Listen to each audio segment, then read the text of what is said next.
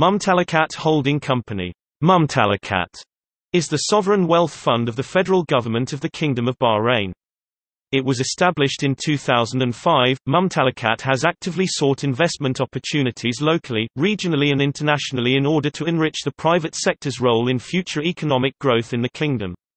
As of 2018, Mumtalakat holds stakes in 60 enterprises in 13 countries with $11 billion worth of assets.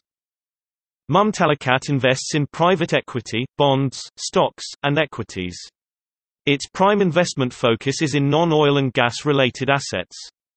In addition, its investments vary in financial services, aluminum production, real estate, tourism, transportation, and food production.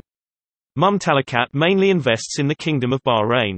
However, the firm also pursues investments in Europe, the United States, and select pockets in the Far East seeking minority or majority stakes in its portfolio companies.